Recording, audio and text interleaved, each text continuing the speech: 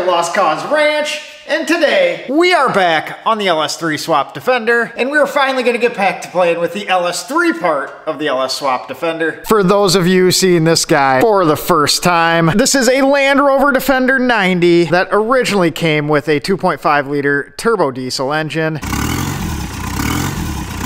And this 430 horsepower GM Performance V8 is quite different than that 2.5 liter diesel. A while back, we went ahead and sorted out our front drive system. And on the passenger side here with the alternator and AC compressor, we were able to utilize some ICT brackets for a Sanden compressor and an F-body alternator. But that left us with the power steering dilemma. The off-the-shelf options would either be down below, which obviously with our steering gear in place would not work. So we went ahead and designed our own brackets to use a 3.9 liter Impala power steering pump that has the correct offset for our shallow front crank pulley, keeping everything nice and tight. We went ahead and 3D printed those out of some PLA and got got that guy mocked up. As you can see, the plastic's not quite stiff enough once you tension a belt on it. So after going through several renditions to get it dialed in the way we wanted, today it's time to finally finish that guy up and make those guys out of some aluminium. I believe that's how you guys say it over across the pond. Aluminum for us Americans.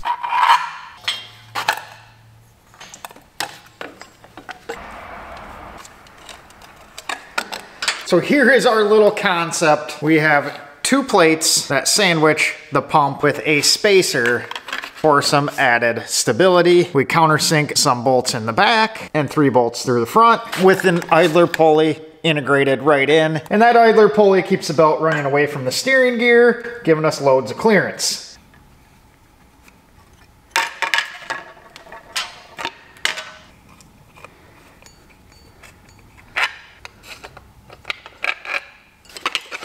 So all blown apart here is our power steering mount. It is a nice, clean, tight fitting setup, which in my opinion will keep the front of this LS3 visually appealing. We have a 3 8 thick piece here, quarter inch thick piece here, spacer, and the spacer that fits inside the idler pulley. So now we just need to make these out of aluminum, and in the little Land Rover shop, we have our size appropriate machine shop. We got our metal lathe, little mill. But the neat thing about the internet is we've had a company following along with the LS3 Defender build and they reached out to us here at the Lost Cause Ranch and offered to help us out with this guy. And that brings us to today's video sponsor, Fictiv. But more on them and how they're helping us with this part in just a few minutes. First, we're gonna go ahead and use our little mini machine shop and knock these three pieces out. We went ahead and grabbed ourselves a chunk of quarter inch aluminum sheet or plate. To be honest, not exactly sure at what thickness it changes over from sheet to plate. So we have quarter inch sheet plate. Then we went ahead and grabbed some aluminum bar stock. Let's make those into something useful.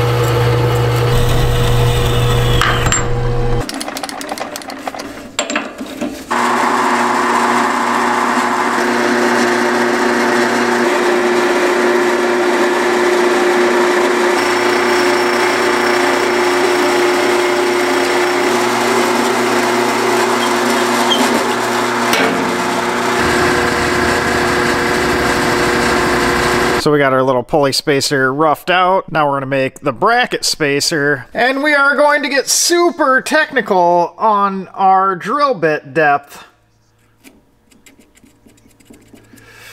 for the hole.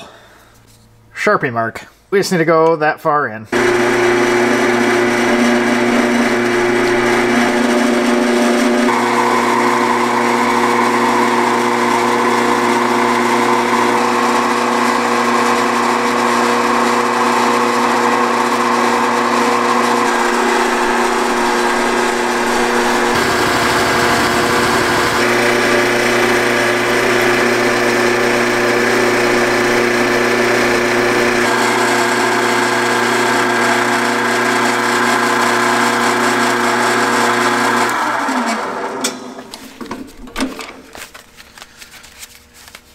So we have our little Creality Ender 3D printer, and with several revisions, we went ahead and prototyped our power steering bracket, part of which is right here. So while we have a bunch of neat tools here in the shop, including the CNC laser, the mill, the lathe, brake, bandsaw, and that 3D printer to help prototype parts, we only have 1,440 square feet too many Land Rovers, and not enough money to house a CNC mill. But that is where Fictiv comes into play. We got this box today. I even went ahead and blacked out my address this time. Been known not to do that in the past. You just saw us make the other half of our power steering bracket here in-house. And it turned out pretty nice if you ask me. But sometimes around here we have a part that is kind of beyond my current manual machining capabilities. And the way my bank account works, you see I got a checkings and a savings, and I got a transfer from. But anyways, I don't have enough money for a CNC mill. But with Fictiv, that changes. With the combination of that $250 3D printer I have and Fictiv, I have a CNC machine shop at my fingertips. As you guys know, I'm not much on sponsors for the videos, but this actually fit in line with what we do around here. So I figured I'd give it a shot and see how they could help us make better Land Rovers as we go on in the future. So since we drew this up, we already had our CAD file that was necessary. All I had to do was log on to Fictiv, upload the file, pick out what material I wanted, then it instantly quoted me several different options to get our part custom machined, with half being directly from the US and half being overseas manufacturers with different time frames, faster, cost more money, slower, a little less. So we went ahead and selected one of those options and let Fictiv do the work. And once it was finished and it went through the internal quality control, they uploaded pictures directly onto the website that we could take a peek at before the part was even shipped. And here is our custom piece. I'd say that's pretty spot on. So I guess if this ends up being wrong, there's only Joe to blame. As you guys know, I've never been wrong before. But there is the final piece we need to get our front drive all sorted out. That guy looks pretty freaking snazzy. I think those guys Another frickin' one. I think those guys turned out pretty nice. Got our back plate made up. We went ahead and ditched the hole that was in the 3D printed part. That hole was there to shorten up the print time. I mean, this guy only took like five hours to print. Uh, good thing it just does it on its own. We don't have to watch it because that would have been boring. But we got our holes countersunk on both sides. We got our one that we added in the correct spot looking a little better. Went ahead and made up our spacer. That was this guy. That slides right into our pulley and is a nice tight fit. And then we have the bracket spacer that we busted out on the lathe there. I freaking love playing machine shop. So we're gonna start off by getting our back plate mounted up to the cylinder head. There is a little bit of an order of operations on the assembly. This is the instructions for future Joe. We first need to mount the power steering pump to the back bracket, preferably in the correct orientation with the reservoir pointing up. And that guy uses the two countersunk holes in the back. These guys needed to be countersunk and flush with the bracket because that sits flat against the front of the cylinder head here, so no protrusions allowed. They fit. We did something right. Good factory style fitment right into our hole. Now we can bolt our front bracket on to the front of the power steering pump That's three bolts right through the pulley.